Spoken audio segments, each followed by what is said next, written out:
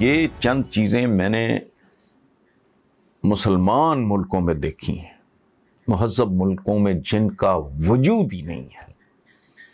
मैं किसी वक्त को प्रोग्राम करता हूँ कि मैं मुख्तलिफ़ जो हेड्स ऑफ़ द स्टेट्स उनको मिलना, देखना, उनको, और ये अपने जो हैं, ये बांदर, बिज्जू, ना को आगा, ना पीछा इनका, इनके प्रोटोकॉल ही नहीं ख़त्म होने में आते। वो एक दफ़ा जर्मन प्रेसिडेंट को मिलने चले गए, कुछ भी नहीं। एक बंदा खड़ा, मैंने कहा, ये तो बुत है, बुत तो जैसा लगता है आँख में नहीं झपक रहा तो पता नहीं। तो मुझे किसी ने कहा, नहीं नहीं, ये बंदा। जानो तो मैंने कहा, इसके हाथ में जो बंदूक है, उन्होंने कहा, जी, ये फ़र्स्ट वर्ल्ड वॉर में यूज़ हुई थी सेरेमोनियल है आर आई शी है वी टॉट ख़त्म। दो दो बिस्किट, एक एक चाय की प्याली, मुलाकात फारग ये जो है। अब समझ नहीं आती, ये जब बात करते हैं कि इमरान खान छोटी छोटी बच्चों के पीछे और क्वीन ऑफ़ इंग्लैंड ने इंस्ट्रक्शंस दी थी कि कोई फालतू बल मुझे पैलेस में, ये रवैये होते हैं। शर्म नहीं आती इन लोगों को जो इन बातों का मज़ाक उड़ाते हैं। हज़रत उमर बिन अब्दुल अज़ीज़ का किस्सा सुनते सुनते कब्रों में पहुँच जाते हैं। हया नहीं आती कि जब सरकारी मीटिंग ख़त्म हो गई, वो किसी ने पूछा, हज़रत उमर बिन अब्दुल अज़ीज़ से कि और सुनाए, बच्चों का क्या हाल है, फलां का क्या हाल है? टिपिकल जो तरीका होता है अरबों का। उन्होंने फूंक मारी, चिराग बुझा दिए।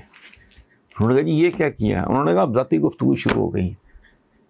ये चिराग जल रहे थे बैतुल माल के पैसे से।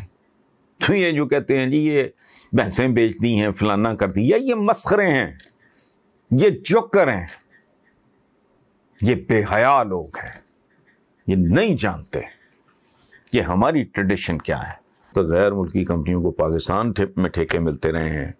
हती कि शहबाज शरीफ के दौर में भी लाहौर का कूड़ा इकट्ठा करने का ठेका भी एक गैर मुल्की कंपनी को बल्कि दो गैर मुल्की कंपनियों को मिला था।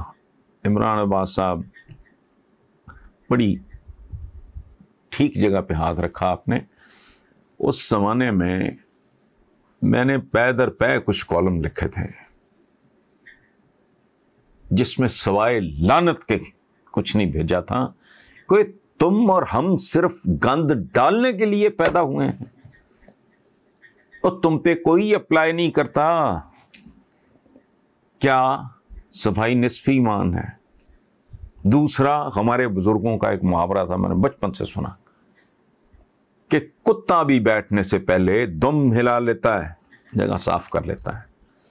सो बात आपकी ठीक है, लेकिन एक वजह होती है कमीशन होते हैं किक बैक्स होते हैं और दास्तानें हैं बड़ी बड़ी। अब ये इस तरह का सवाल जो आप, जो हम लोग आपस में करते हैं, मैं तो इसको अपना फैमिली समझता हूँ कि जो हम गप शप लगाते हैं, ये इसमें कौन सा सवाल होता है, कौन सा जवाब होता है?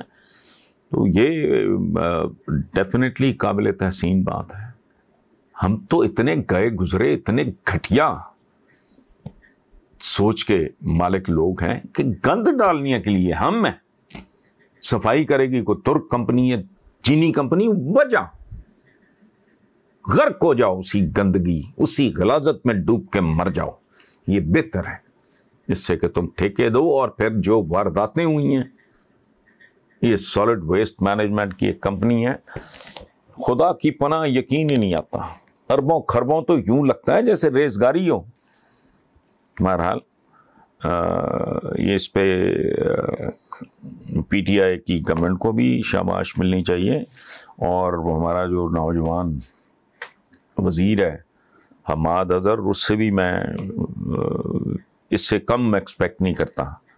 वो एक बहुत ही प्यारे इंसान, बहुत ही जेंटल बंदे का, क्या खूबसूरत ह्यूमन बीइंग बहसीत इंसान कम लोग ज़िंदगी में। हम अज़र के जो वालद हैं, मेरे तो भाइयों की तरह हैं, मियाँ तो मैंने उनका नाम एक ज़माने में रखा हुआ था, बच्चों का governor. He the one open governor house those of governor house